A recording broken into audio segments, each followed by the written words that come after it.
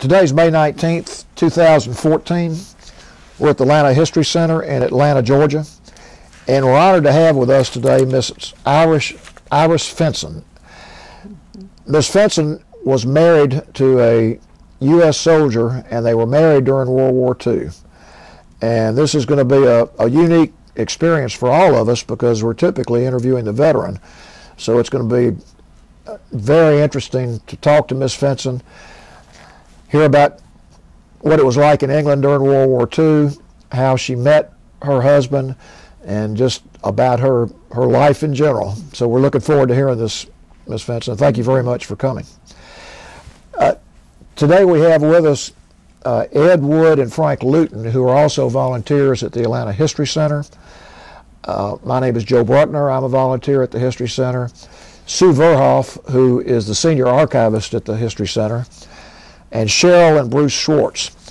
Uh, Mrs. Swartz is the daughter of Miss Fensom, and Mr. Swartz is Miss Fensom's son-in-law. So we're, we're thrilled to have the family here as well. Tell us a little bit about your upbringing, growing up, your family. Yes, well, we lived in London, and I had one sister who was younger than me, but also married an American. She married a Navy boy. But we were a very, very close family. And uh, there was just the two girls. And uh, my mother was, um, she worked. She didn't want to stay home. And so she could never be there when there was activities, you know, from the school or from the church or whatever. But uh, I went to a religious school that was bombed during the war. So it's since been redone. It was St. Mary's, and I went to St. Mary's School. So we didn't go as long as, as they do here. At 14, I left and went to work for the Royal London. Um, my mother pulled strings, and uh, so can you imagine a girl today, 14 years old, going into this huge insurance company? I had to have a map to get around it. Honestly, it was, when I think back on it, I, I think I wouldn't let my children do that. And then, of course, when the um, war started, when the city was bombed, that was bombed too. And I watched the uh, the firemen. Our house was up on a hill, so we were, from our um, our uh, you know, the attic, yeah. we could see over, and I watched those firemen come down in the flames. Mm. What was your reaction to that, your emotional feeling? Well, I, I, I don't know. I can't remember. My father was a very stoic man. He was in the First World War, and he never got flustered. So we would watch his face. And if he was reading his newspaper, it would calm us down. And then, of course, after that, we had the buzz bombs, mm. which was the worst thing because you, you couldn't hear them until you could see them. And if, the, um, if they stopped, if the engine stopped, that meant that's when it falls. Oh. So if you were out, you had to run towards it, you know, away from it. Yeah. And that was the scariest thing because it wasn't human. You know, that really yeah. was, a, was a frightening thing. Yeah. But during the war, like I say, my mother wouldn't leave my father and we wouldn't leave our mother. So we would stay in the house, and then they built um, a shelter in our garden. And uh, during a raid, my parents would take us down into the shelter, and when we fell asleep, they'd go back in the house. My mother said, if I'm going to die, I'd rather do it in my bed than in a hole in the ground. But some of our neighbours, if they'd have been in their house, they would have uh, remained alive because the bomb hit the shelter, or vice versa.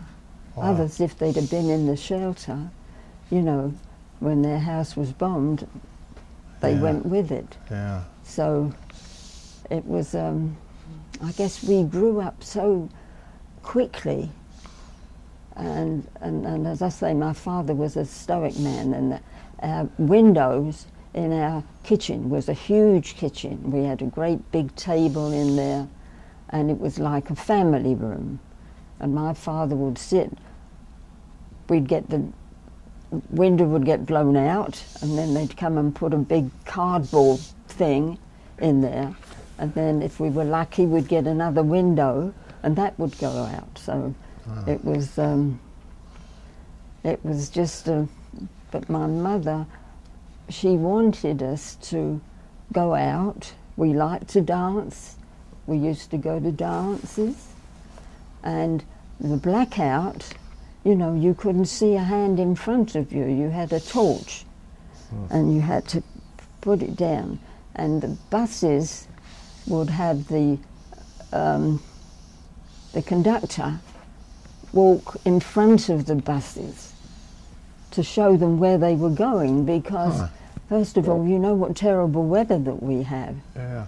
you know we had Yeah. fogs would come in somebody has got to you know the bus conductor's got to tell the bus driver where to go Gosh. and we both went to work after we I lost my job in the uh, city because the city wasn't there anymore. Yeah. I went to work for um, uh, in um, in the West End on um, Regent Street. I went to work for uh, um, a, a tailoring.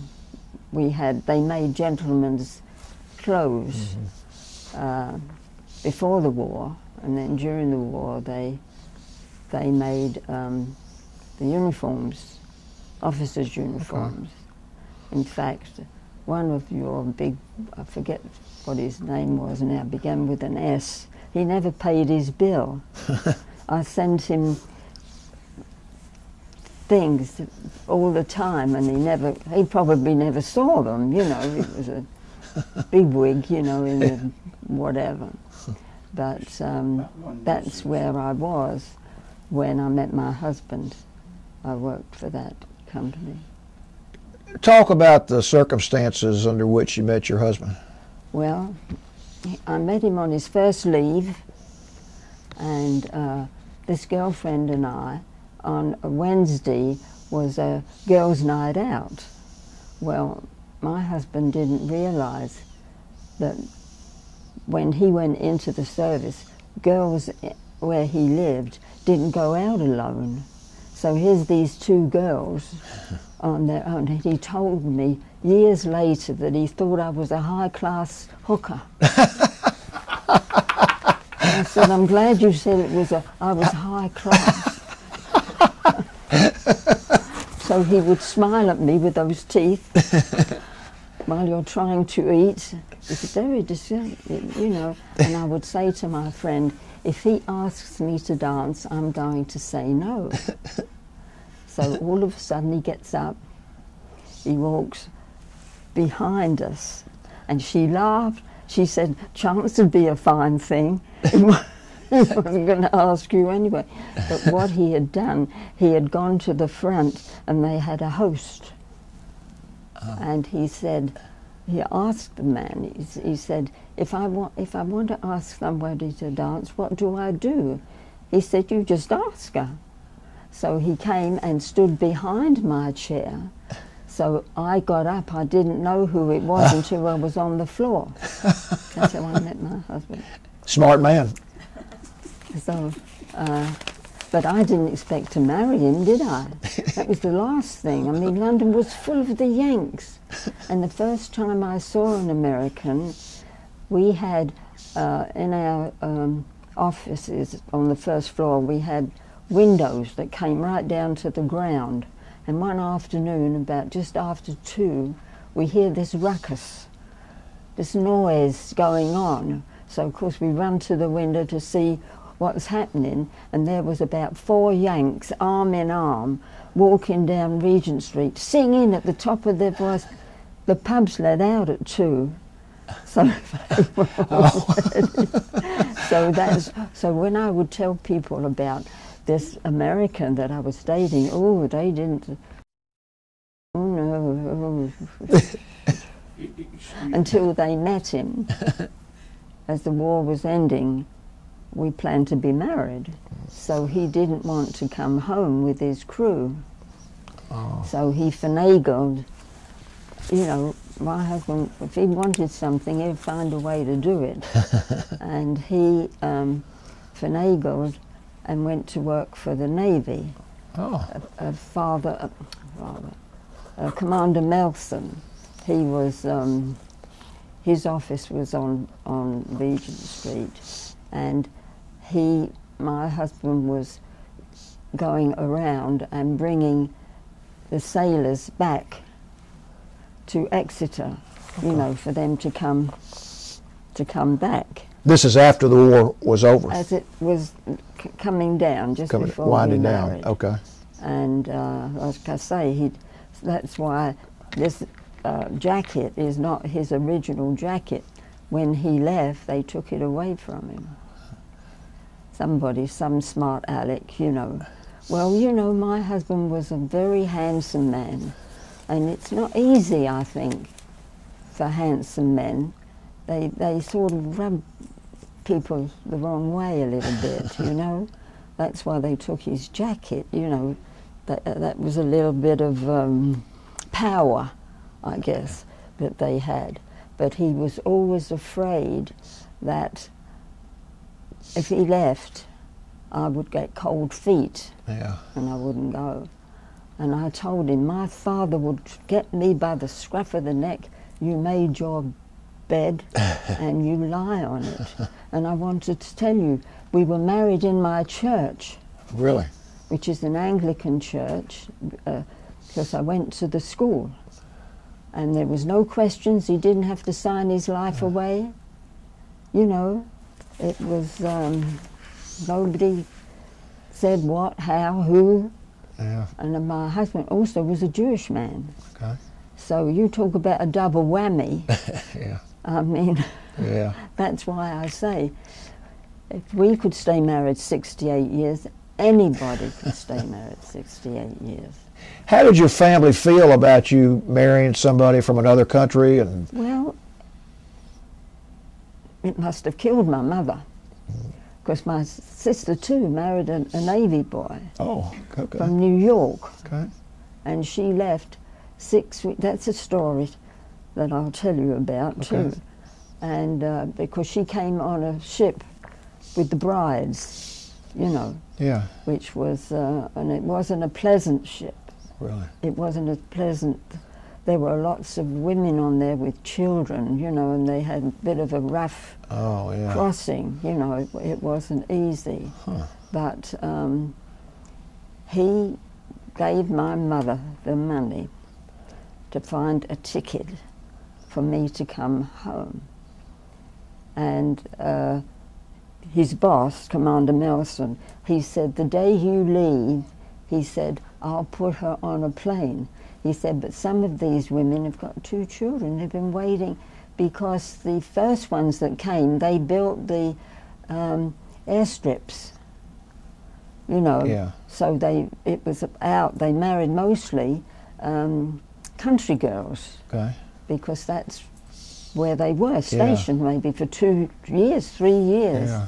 So they married the country girls. But um, uh, like I say, he gave my mother the money My sister had already gone. And I'm sitting in the movies with a girlfriend, and up comes on the screen, Will Mrs. Magid go to the manager's office? well, for the minute, I didn't know who. Oh, that's me. Yeah, I was Mrs. Magid for nine months. So I go into the manager's office, and my mother's on the line. She said, I have a ticket. You're flying out tonight. Good gosh. So I had to go home, put a few things in a, in a bag. I had no American money. And I barely said goodbye to my mother. She put me in one, because uh, I was flying out of Prestwick in Scotland. Mm-hmm. And there was a little girl there crying, and so she said, "Oh, you don't want to sit next to her, you know, crying." And um, but we didn't have time. I didn't really have proper to say goodbye to my mother. Mm, Can you imagine? Oh. We hated. To, we didn't like going away on vacation. Yeah. My sister and I. We were such homebodies yeah. that both of us left my mother, which was enough to kill her. Gosh. You know, when you think about it. But um, anyway, um, I get on the plane. Uh, of course, I had to have a, a passport, which I had, had, which we got beforehand, right. because I didn't know when I was going to leave. Yeah. And uh, I get to New York. It was a rough flight, and people were throwing up. I have, didn't feel a thing and I was the girl that couldn't sit on a swing. so this was the first time you had flown in an airplane. Yes, yeah. a, uh, a, constellation. Was it a constellation? Yeah. yeah. We came over Greenland some mm-hmm. some way and got down to, into New York about six o'clock in the morning. So here I come into New York with no, no money. Somebody gave me a quarter. So I, I thought, well, I'll just call my sister. I go into the box and I couldn't find, there's no directions for me. You know, I didn't know how to use the yeah. telephone. So I said to myself, well, I'll just do what I was, my mother always told me. If, if, I lost, if I missed the bus to get a taxi at home, because you don't pay the taxi till your destination. Mm -hmm. So there would be no excuse that I couldn't couldn't get home. So I thought, well, that's what I'll have to do. So I get in a taxi. He must have taken me all around the houses because I don't know. Anyway, we drive up to their house at um, about six in the morning, something like that. So I, have to ask the um, the driver, would he wait a moment? So I went up and rang the bell and her father-in-law came down and I said, I'm Iris, Joan's sister, would you please pay the taxi? my sister didn't know I was coming. Oh, they were still in bed. what was his reaction? So that, well, I can't imagine, you know, what he thought. and, and of course, um, my sister wasn't welcome with their family you know, oh. she, because she was English. Oh, really? And they blamed the English, like my in-laws did, for the war. They oh. blamed, yeah, they blamed us for the war. And um, now these, were, my in-laws were Jewish people. Yeah. Now why they would blame the English yeah. Because they weren't the ones, weren't they, that were putting them in the. That's right. In the, uh, in the things. The ovens, yeah. In the things, but uh, as I say, we survived and we had yeah. three children. And um, I always voted. You know, they used to say uh, if you married an American at one time, you automatically became a citizen. Well, they changed that. Yeah. But they, normally I think it's seven years, but if you married an American, they cut it down to five. Okay. Well, we had to study. We didn't know what they were going to ask us. Yeah. Not like today when 500 people get up and raise their yeah. hand and it, all kinds of languages. We didn't know. And uh, so we ha had to study the Constitution. Okay. and because we didn't know what he was going to ask us, and my sister, who lived next door to me, they left. Um, that's another story. They left uh, New York and came down to uh, Atlanta. So she was Oh. my neighbour for 17 Oh, okay. years. Huh. And uh, so we studied together. And um, anyway, I passed whatever it was. And so I've always voted. Good. Good for you. I you. voted, even if I was in a wheelchair. One time, when the last time, when uh, Bush got in, I was on a walker. I'd hurt my leg, but I was determined I was going to vote if they had to push me there. And my husband had said when we first came here, uh, we didn't have a two-party system. There was only the um, Democrats. the Democrats. And he vowed until we got a two party system that he would vote Republican. Okay. Well, he was sitting next to Jimmy Carter on a plane one time, and you know what they talk about, what can they Yeah. say? And he told Jimmy Carter that, which he didn't appreciate, you know. What, what was Jimmy Carter's reaction to that? Well, I, I, he didn't like it. He tried to talk him out of it, and he said, uh, "Maybe I'll rethink it when we get a two-party system in Georgia," which we didn't, did we? But For a you long see, time. the Jews are um, are um, what's the word? They always vote uh, democratic Democratic. Yeah. Because they um, they feel that that they, which I can't understand personally, because the Jews nobody ever gave them anything. They had to work for everything that they got. Yeah. You know, like when they came to this country, nobody handed them anything. Right. They couldn't even find a job because nobody would hire them. Yeah. And when I first went to, to Miami, three months I was there but before my husband came with my in-laws, Oh. which was was something. You know, they they Yeah. were, were cordial to me. You know, they. I was a pretty girl, so that was one thing that was in my favour. Yeah. But um, And where were you then? Where, what city were in you? Miami, Miami, my husband okay. was from Miami. Okay. So you moved from New York to Miami? Yeah, I was only in New York for a few days. Oh, okay. and they had to loan me the money to get to Miami. And I went on the train, and the train took 18 hours. It must have stopped everywhere. it took the sa- same amount of hours that the plane did to bring me to the country, you know. Gee. So, and I would ask uh, the porter on the train. Couldn't understand a word he said. I said, could he tell me where the bathrooms were?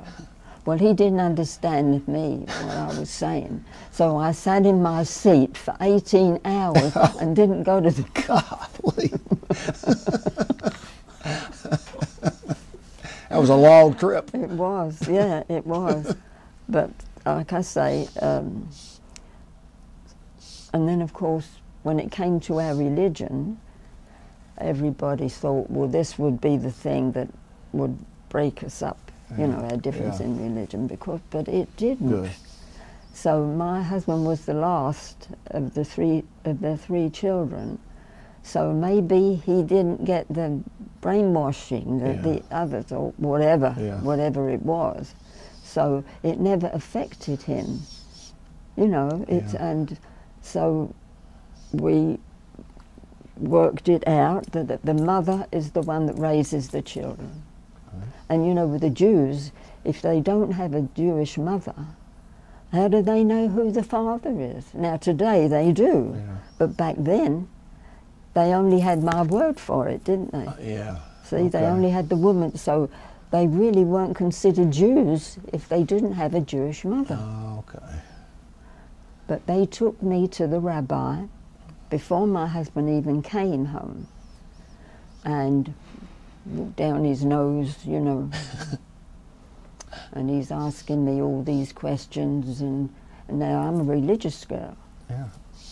And uh, one of the questions he asked me, uh, if I wanted to become a Jew, that I would have to denounce the fact that Christ was the Son of God. I said, well, I can't do it. How can I do that when all my life, Yeah. you know, was one thing? You wouldn't be worth anybody, would you? If you can't No. stay by your, what kind of a person would you be? Yeah. You know, you, Right. just go where the wind blows, and Yeah. and uh, and I'm easy to get along with. You can push me. My hus- my son-in-law can tell you, but I can also put my foot down. Yeah. You know, they used to say that to my Good. mother. Do you ever lose your temper? She'd say, if I ever did, you'd know. You'd know it. But we're not confrontational people anyway, not by nature. Yeah. You know, Yeah. we would teach, we would talk good manners and may I, please and thank you. And they thought that my manners were, I was standoffish. You know, the please and thank yous they didn't like. Yeah. But I wouldn't go to their refrigerator, you know, without saying, may I have what, Right. whatever. I mean, Yeah. My sister wouldn't do it. Come into my house, and I wouldn't do it go into hers Yeah. to open their refrigerator. So that's telling you what peculiar people, you know, that we have, we are. But uh, another thing, I also share a birthday with Prince William. He was born on the 21st of June. Huh. And uh, not his age, but um, his birthday. Well, you've got to be proud of that. Oh, I, I am, yeah. So, so they're giving me a birthday party for my 90th birthday, Good. which will be next month. Congratulations. Thank you. So, um, course, my husband won't be there, not, but Yeah. wherever he is, I'm sure he'll, he's waiting for me anyway. He'll be there in spirit. Yeah, he will. I want to ask you some questions back when Yeah, you were yeah. about back when you were in England. I know your husband flew B-17s, Mhm. and I'm assuming while you were dating, he was going Yes, he was. off on missions. Talk Yeah. about what your feeling was when he would go. never afraid. It's, I'll tell you, I was a ditzy blonde. Mm. I was. You know, I didn't have a brain in my head. If I had, I would never have married him in the first place. so it, it never, it, and same with him now. On his dog tag, he had the H for Hebrew. Hmm. Now, if he'd have been shot down, Yeah. that would have done him in. But he never thought about it. Huh. We've had other f- friends that were Jewish wouldn't fly with their ba- with their dog tag. But see, That's interesting that they had that on his dog tag. That's right. Huh.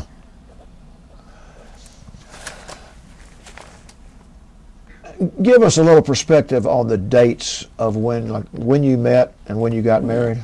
Okay. Well, we met in January of 45. We became engaged in the um, April, and we married in June Okay. Oh, 45, okay. in, of 45. Okay. Yeah.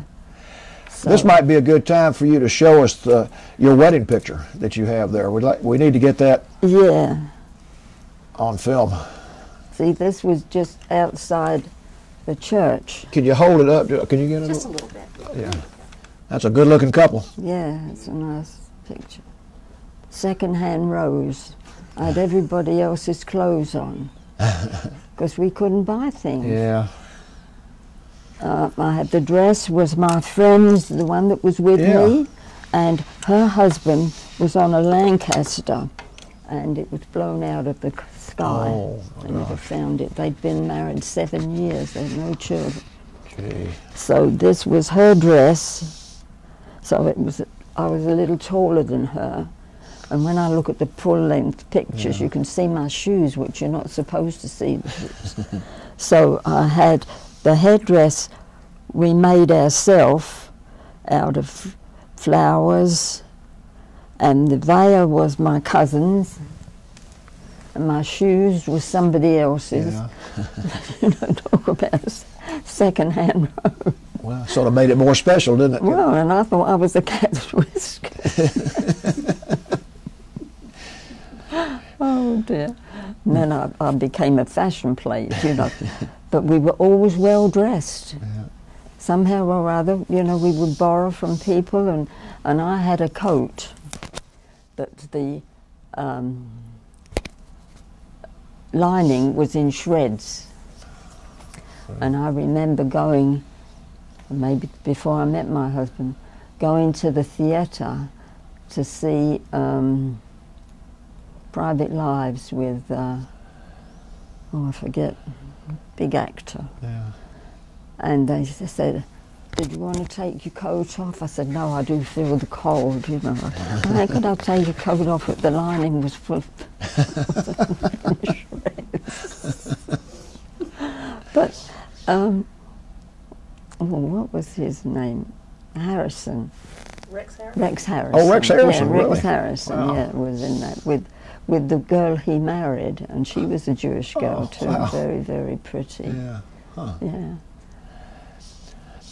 Well, did you when you were in England, going back to the the Jewish issue? Did Yeah. you see much discrimination against Jewish people in England at all? or- Oh, we worked in, in our office. Yeah. There were several Jewish girls Yeah. that were there, and um, there, one of them, whose husband, you know, I think he was the, he was um, um, in the he was away. He was in the war. He was gone. He was in South Africa, I think. Okay. He was with um, what was his name? The general, the Montgomery?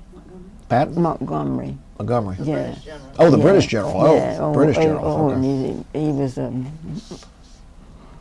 uh, snotty nosed, as they called him. You know, he thought Yeah. he was so grand. of course, it was it was um, Churchill. If it hadn't been for Churchill, that kept us together. Huh. Because Hitler could have walked in. He could have come in on a rowboat. Yeah. I mean, we had nowhere to run. And they uh, were already in Ireland. The, the, uh, that was where uh, Lord Hawthorne, Hawth- that was it, he was, he was, so, but um, Hitler, he liked the English. He admired the English and he wanted to be invited in, Oh, okay. you know Yeah. because, like I say, he, he could, could have come without any problem at all. But uh, also, my husband uh, flew after he'd brought the sailors back. He flew. Um, uh, um, what was it? C forty seven. C-47, C forty seven? With nurses on board. He was stationed in France, in uh, Paris, and um, Patton was bogged down at the Battle of the Bulge, and uh, so they were flying um, supplies to Patton and bringing the um, wounded Oh, back to Paris, and they did that several times. Uh, they did that, and um, so because I think he was stationed in Paris, and uh, he was stationed in Frankfurt. He was in Frankfurt too for for a while. There, he didn't smoke and he didn't drink, which is unusual yeah. um, because they would get these at our wedding reception. He brought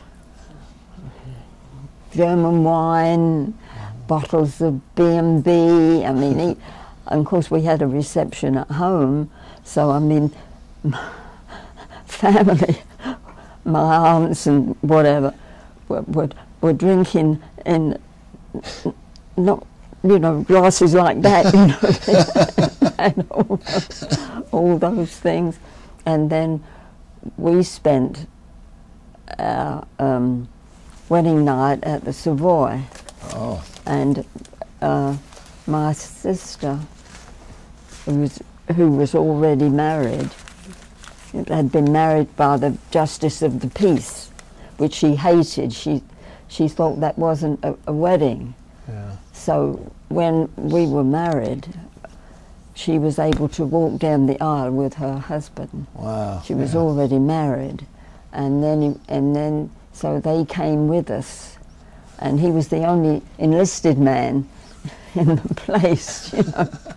but um, I mean, we were drinking champagne and and in the in the bathroom, first time I'd seen a shower. You never saw. sh- I'd never seen Really? a shower Huh. uh, with glass, you Yeah. know, and s- sitting by the toilet was a telephone. So of course I had to use the telephone to call somebody. I said, "You'll never forget where I am." How posh it was. you Yeah, you don't see a telephone by the toilet very know. often. I know. I think this would be a good time to show your husband's picture. He looks like a movie star. Yes, he does. Does that get it? He's got quite a smile. It worked on you, didn't it? He did. I, tell, I just would tell him if you could have kept your mouth shut, I never would have.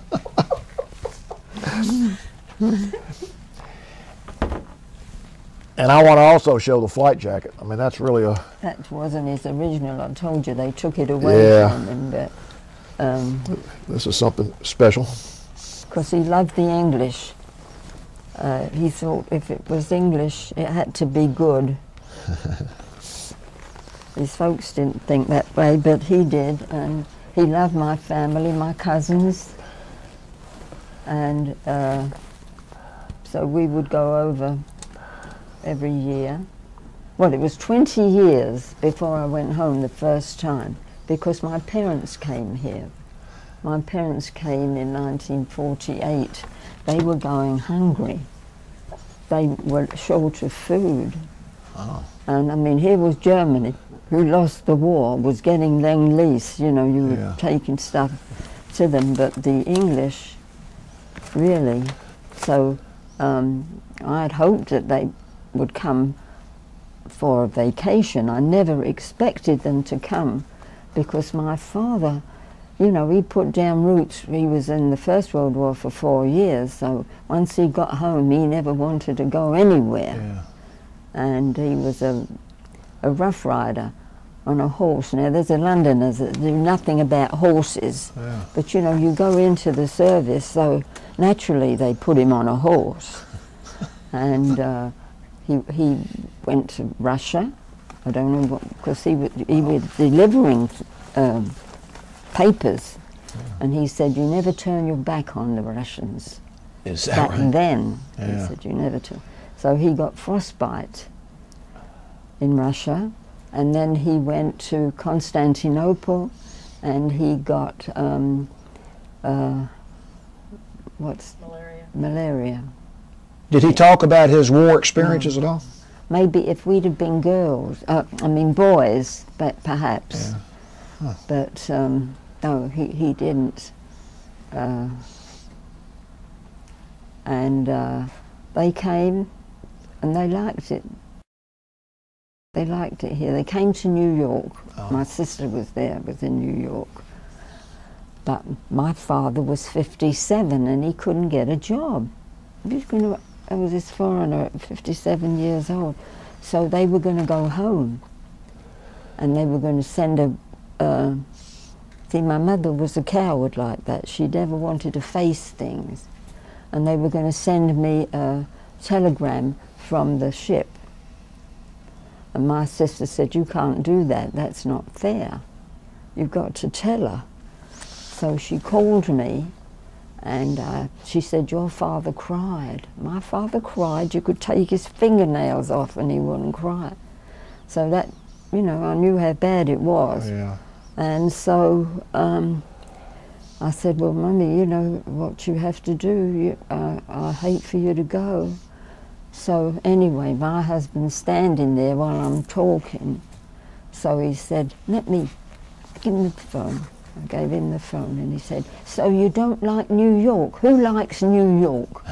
he said, You come down here, he said, and if you don't like it, then you can go home.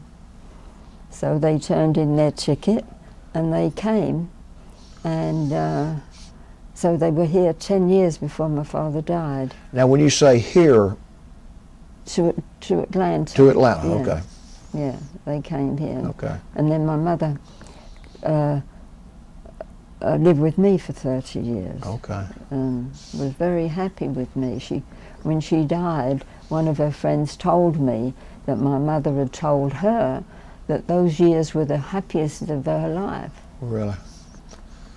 So, like I tell my daughter, I, I missed her terribly. Yeah. But I did everything that I could for her, so I had no regrets. I carried her around like she carries me. And I thought of it as a privilege. Now, I don't know if she considers it a privilege. I think she probably does, just watching the way y'all interact. Well, she has no choice? I mean, I've got daughter-in-laws, but they have mothers. So how you were in Miami? Yeah. How did you come from Miami to Atlanta? Well, two and a half years we stayed there, and uh, my father-in-law was, uh, he should have gone back to school. My husband should have gone back to school, but he wouldn't. Because he, he went, he took engineering, he, we wanted to get into the, um, the Air Force, so he took engineering, you know, which helped him get in the Air Force, but that wasn't what he wanted to do. So he didn't want to go back to school, which they blamed me for, which is probably true, because if it hadn't been for me, he would have gone just to shut him up, you know. So that was another strike against me. and um, so, anyway, his father was um, in real estate. He was a real estate broker. He had uh, an office on um, Lincoln Road.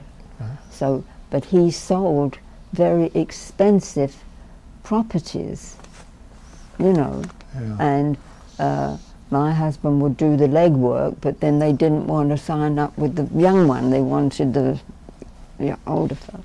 Anyway, they had property out in Hollywood. They had had property there bef- uh, when Malcolm was a little boy, and they owned two homes there. And uh, now I'm going back Yeah.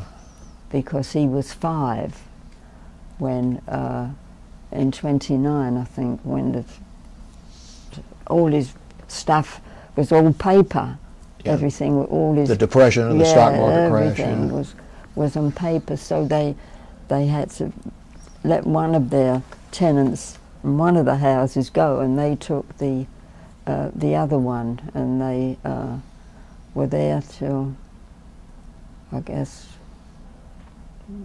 I know his his sister, who's three years older than him, was married there in the hotel. She was 18 at the time, but um, uh, but it all worked out if you just had patience. Talk a little bit about what Atlanta was when you first Oh, moved well, here. when we came up here after two and a half years, he came here to work for his brother-in-law. They were in the printing business. They had headquarters in Nashville, and they opened a branch because they had the uh, a Southern Bell. They did the Southern Bell, Oh, so that was a yeah. a big thing. So we came up here and he came to work for his brother-in-law. What year was that? Around what period did you move up here? After two and a half years we were down there. Oh, okay. So Yeah, we were t- two and a half. 1948? 48, 49, late 40s? Something, Yeah. yeah. Okay. Or latter part of 47. I was born in Okay. uh, March of 49 here. So Atla- Atlanta was a growing city at that Oh, point. so everybody said, don't take shoes. You won't need them where you're going. and that's not true. no. I mean, there were the haves and the have-nots. You know, there's a lot of money in Atlanta, even back then. You know, Yeah, but yeah. it was funny, you know, that, that don't take shoes. It's funny how little people knew about other parts of the country back then. Well, it's true, but um, when they came uh, on his mother's side, no, his father on his father's side, they came from Lithuania, oh, and uh, they had money, and uh, so they.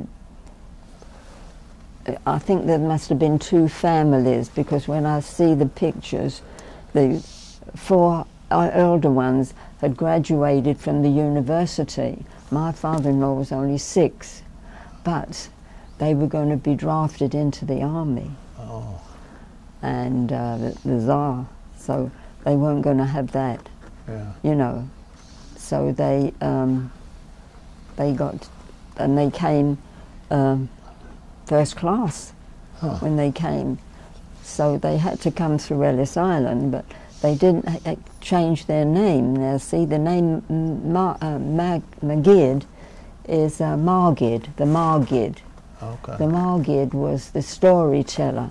He was the fella that went from tribe to tribe with the news. Oh, And um, so when they came, my father in law was six, and they went to, um, where did I say they went? They were either Rhode Island. Rhode Island, yeah. They went to, yeah, they went to Rhode Island. And he had a, um, a glass factory, and he was down in Miami uh, on vacation when it burned. So they went back to settle things, and then they came back down to Miami, and that's uh, uh, where Malcolm was born. The um, two, two older boys. He had a, uh, no, the older boy and a girl was seven years older than Malcolm Mitchell, and uh, Mitchell went up to the university uh, at 17. He was very, very smart. At the University of Florida, played football. Huh. Is my husband a string bean? You know, it's yeah. you would never take him for brothers. but um, he was very, very um, brainy. He was. Yeah. He didn't have the looks that my husband had, but he was also very, very sweet. And when his sister was getting married, uh, his uh, he always had Christian friends. They were always afraid of him, you know, that he would marry out of his faith.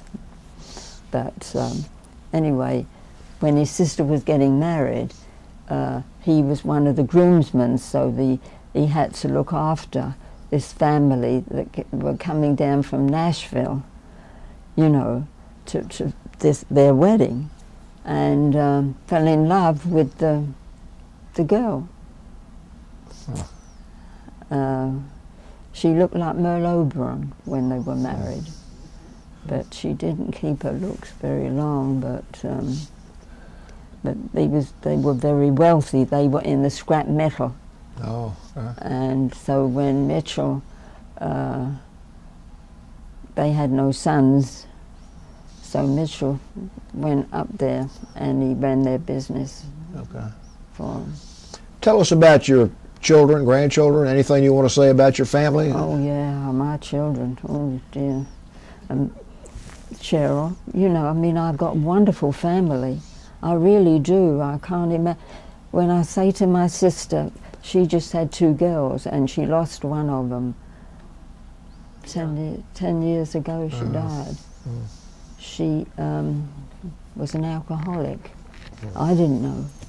I, di- I didn't know. Yeah.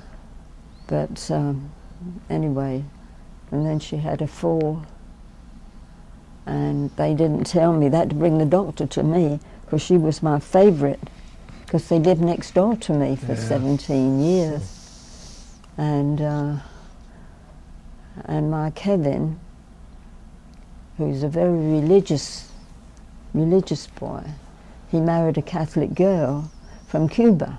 So I mean, you talk about a, a mixed up family.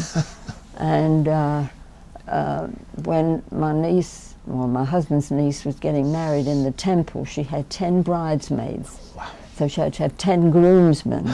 so Kevin was one of them. And he had, had met this girl. He was going to be a dentist. And he went to Georgia, Tech, uh, Georgia State. State for the two years. Our friends in Miami were, were dentists. He told him, he said, you go there first and get rid of the crappy stuff, you know. Yeah. Then you apply for uh, dental school, which is what he did. Uh, But um, At Emory. at Emory. at Emory, okay. So uh, anyway, um, he'd met this girl. She was his lab partner, and I guess she'd picked him out, you know, because he'd never dated, as far as I know. You know, he was a very bookish. He's Yeah. handsome, Yeah. very handsome. Yeah. He was a bookish boy, you know. So he said, he told us, he said, would we go and pick her up because that's the only way that the folks would let her come. Oh, okay. Because you know she was, they were never let, uh, alone. Yeah. They were never alone until they married. And uh, so when I get, get there, I had to explain to them who we were. And she had a full length, a sort of a silver metallic dress, and she had a mouthful of braces. and I told her, I said, if your husband fell in love with you with a mouthful of braces, and of course he's got this same smile as my husband, you know, these, because patients, his patients, some of them say that I want teeth like you. so he said, well, these are mine. Because he's got that same smile. They all, all, all have, you know. And uh, one of the my grandsons married a girl from Turkey that Wow. he met at Georgia Tech when she came over to get her master's. So the only one that married um, a, a, a native of, whoops, is um, my eldest you, son. could, you could cross it. I just wanted to get He the. married uh, Alright. an Episcopalian like me, so of course they think we're heretics. You know, I said, you check our, our, our prayer book, you'd think you were in the Catholic Church, and it's true. it's true.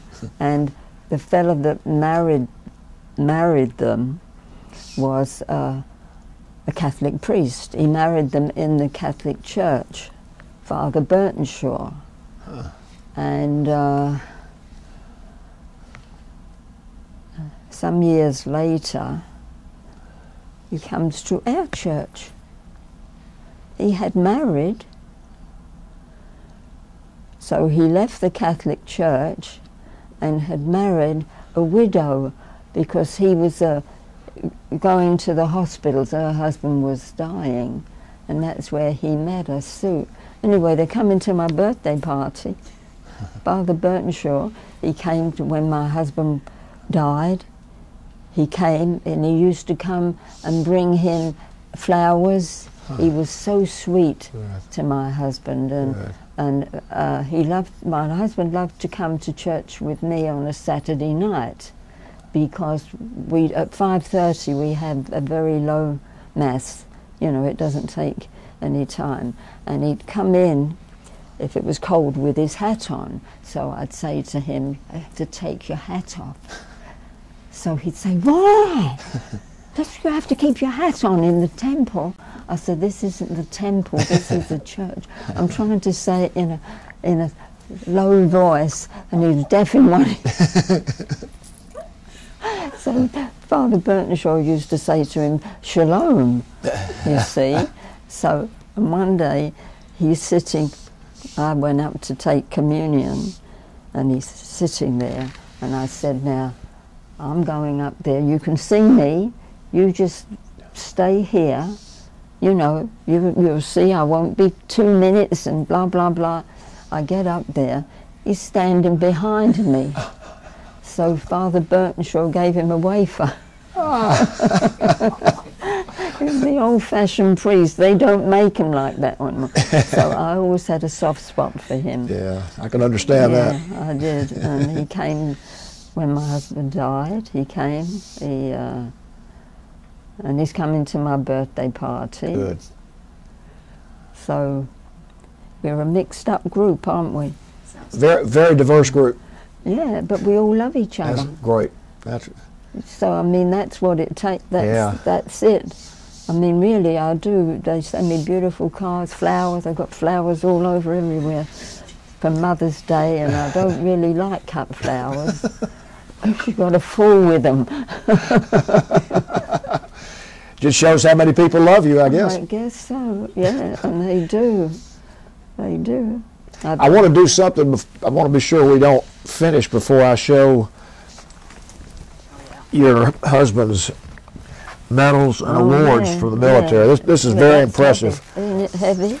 I'm going to read this because you can't see it Yeah, on the film. Second Lieutenant Malcolm J. Magid, United States Army Air Corps, 303rd Bomb Group, 358 Squadron, 23 May 1944 to the 2nd of June 1946.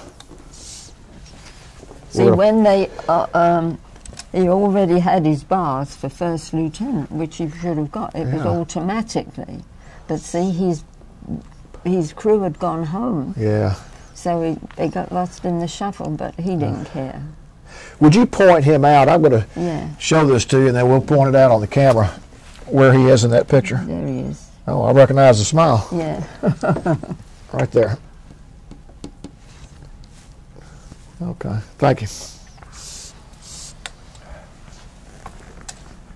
I don't know why that that frame is so heavy.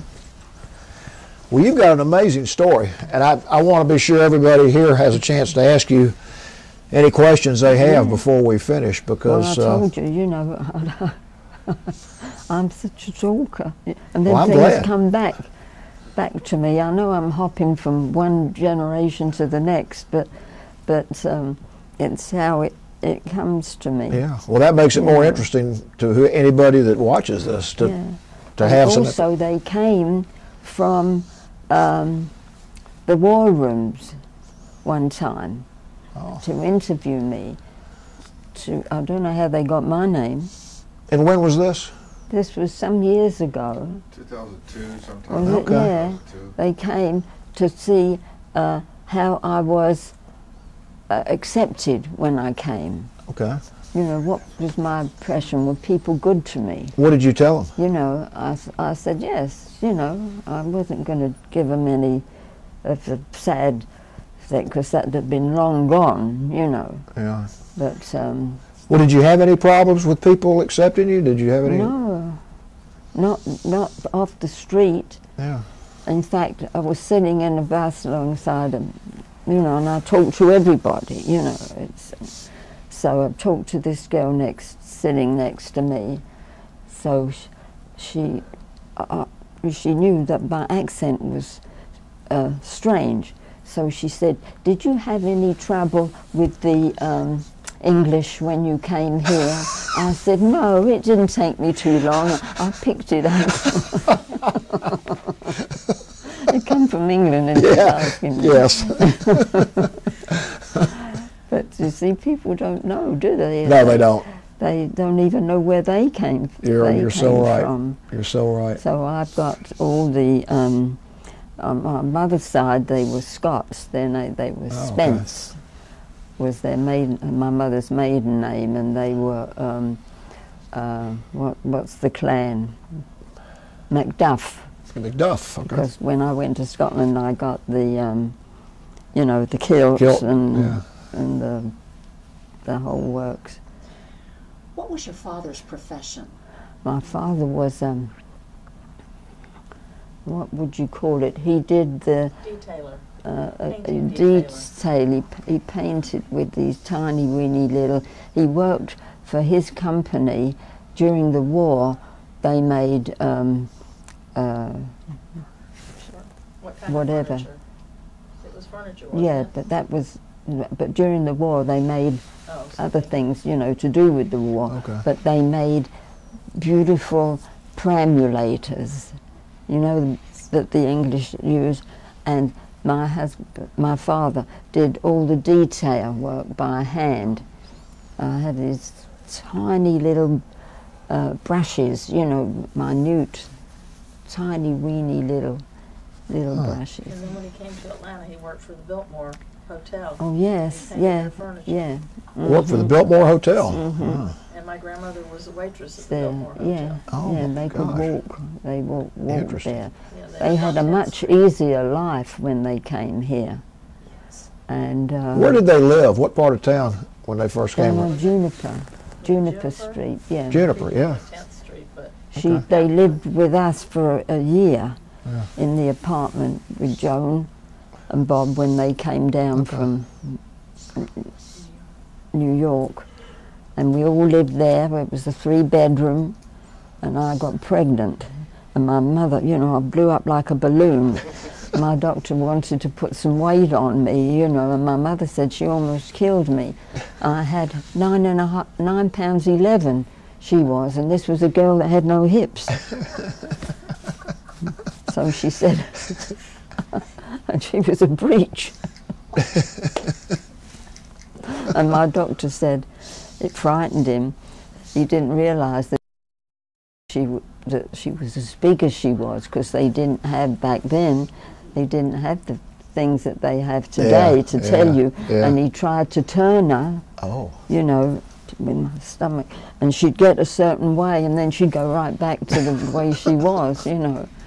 But um, so they didn't have those things that they have on Call the Midwife. Yeah, do you watch that? Yeah. Apparently. Well, Well, they did, They yeah, they should've. either, because that was supposed to be in the 50s. Yeah, that's right. They they should. Very antiquated, you know. In fact, I had an English friend, and um, her daughter was born in England, and then her son was born here. And she said, "Oh boy, it was like the difference between uh, night and day." You know, the Yeah. care that uh, yeah. That um, that she had.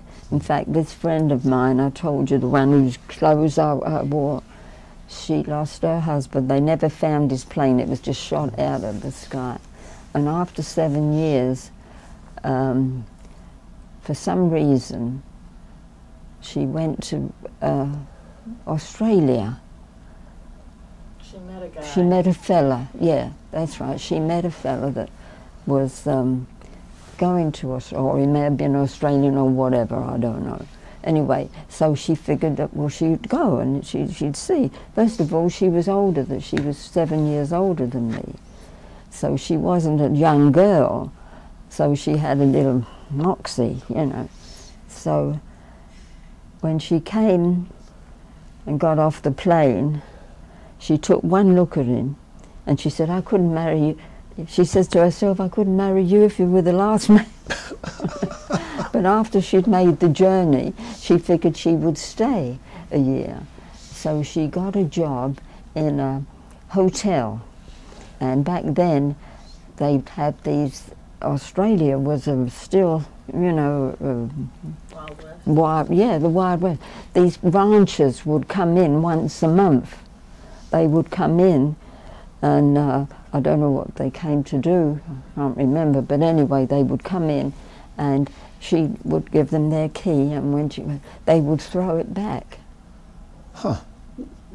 Pick that up, Is, give it to me. She wouldn't. She wouldn't pick it up. she made them put it in her hand.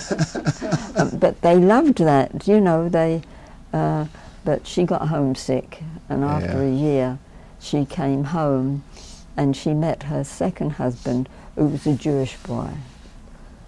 And they had. She was forty when she got pregnant, and she had a rough time. They walked her around. She was about three weeks late now. A mm. woman forty years old. yeah. She had to walk around. She was three weeks in the hospital, walking up and down, you know, trying to whatever, which I guess did anyway. When She wanted that baby to come. that's right. But he, when he came, he had a big head, and um, and uh, he wasn't. Up He had to go to special school. Oh, okay. And then, and then they went on holiday um, with her brother and his wife, and they were in Germany. And uh, on the dance floor, and her husband dropped dead. Gee. So she wasn't going to take him through Munich. She didn't. I'm not going to have them spit on his coffin, you know. So she called her friend, who was a Jewish man, and they they got him cremated, and uh, and he is buried in um, the Rothschilds.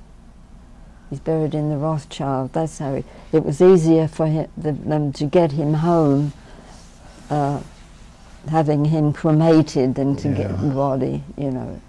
And he was buried in, um, That- so- where the Rothschilds are yeah. Oh, okay. mhm. in England. So you know, she she had a, but she had a long life, didn't she? She was in a the last time I saw her, and she'd gotten a little fuzzy, and she kept thinking her husband was still alive. Oh, She'd say to somebody, uh, "Frank will be here any minute now. You know, you." And but see, she was a smart woman. She worked for the government, and um, Was there anything else you would like to say, to summarize or to, I don't This- think th- so. I can't think. What should I say, Cheryl? Don't feel like you have to say something, but I just want to be sure Oh yeah. that we get everything you want to say. starting me off again, and I. No. No, I don't want, no, I'm not going to do that. Oh, we could listen forever. Yeah. But we know you have things to do. That But my father um, died. He, um, I told you, he worked in the, with paint, Yeah, and uh, they had the um, visiting people to, to take uh, X-rays, and they found that there was a problem with his lungs. He had a, something in his lungs, and they said if they'd have got it six months earlier, they could have removed part of the lung, but um, it was too late. But his father also died of a, they, they were heavy smokers back mm. then mm. and working around with, with the paint and, and whatever. But he, um, he got so thin he couldn't eat, he couldn't drink.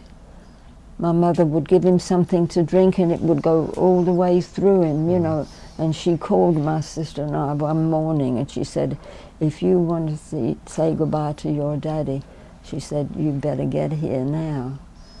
So we drove down there, then we were in school, and Roma was in school, but Jonathan and uh, Avis were little ones, they came with us.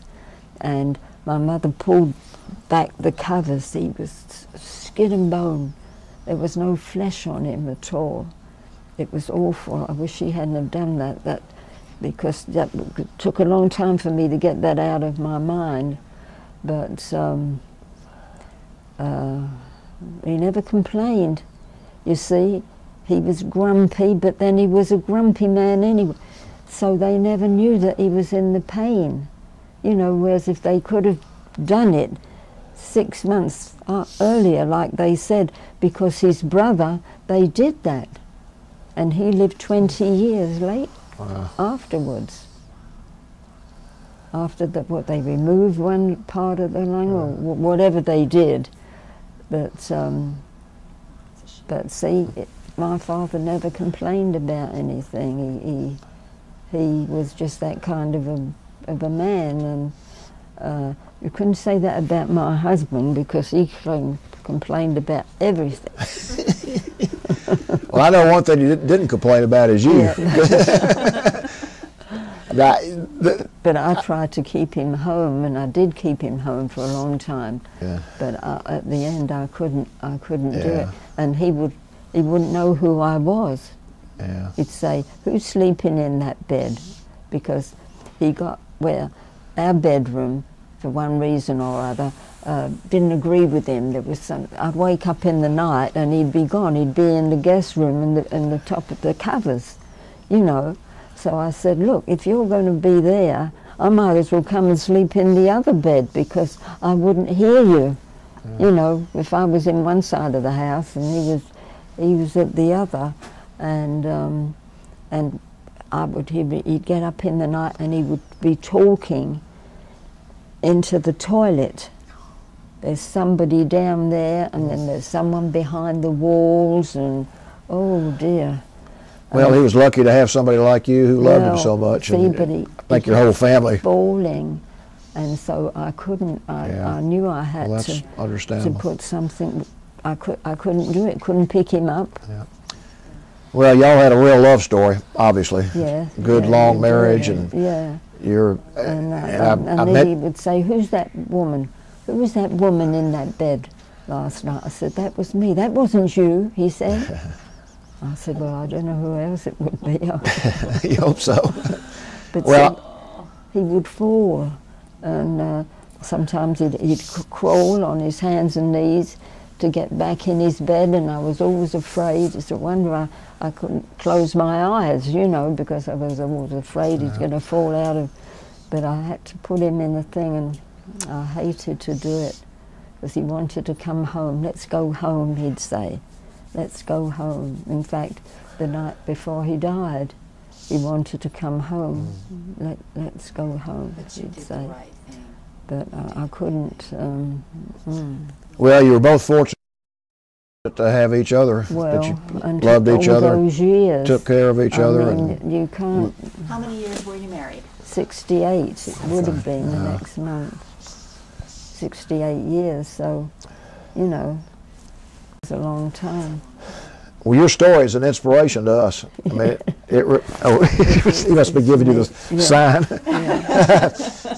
I mean, it really is an inspiration to all of us. I mean, your, your marriage and your life and what you Yeah. went through and all the happy times. and That's and right. I, again, as I mentioned before, this is unusual for us because we're usually interviewing the veteran, and, and it's it's special for us to be able to hear about a veteran's wife's story, and particularly the fact that y'all met over in England during That's the war. right, And yeah. I just want to thank you so much for coming in today and telling us you're your story. welcome, Thank you. I'm sure.